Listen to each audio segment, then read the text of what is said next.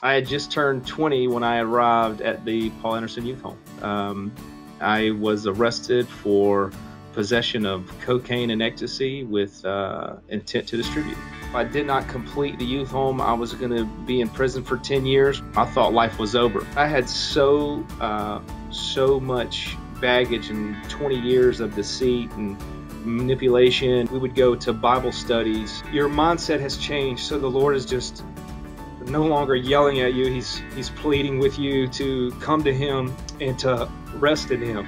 You know, the youth home has a saying like all the years the locusts have eaten, right? I will restore to you the years the locusts have eaten. What I had been seeking in the drug world, these friends and these these feelings of affirmation, I started to experience those in a real way.